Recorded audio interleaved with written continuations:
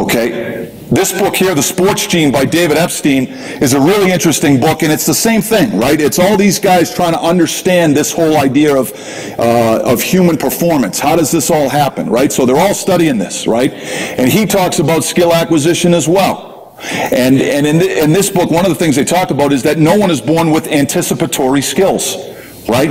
So in this book, what they talk about is, is uh, elite performances consist of two things, hardware and software. Hardware is your gene pool. It's what you get handed from your parents, okay? And your gene pool has to be receptive to training. Some gene pools are more receptive to training than others, okay? And, and so